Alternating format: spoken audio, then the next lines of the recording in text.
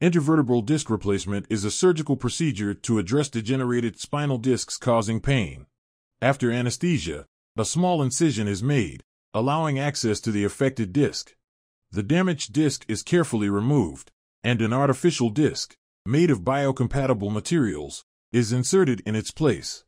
This maintains spinal alignment and preserves natural motion. The incision is closed, promoting a quicker recovery compared to traditional spinal fusion.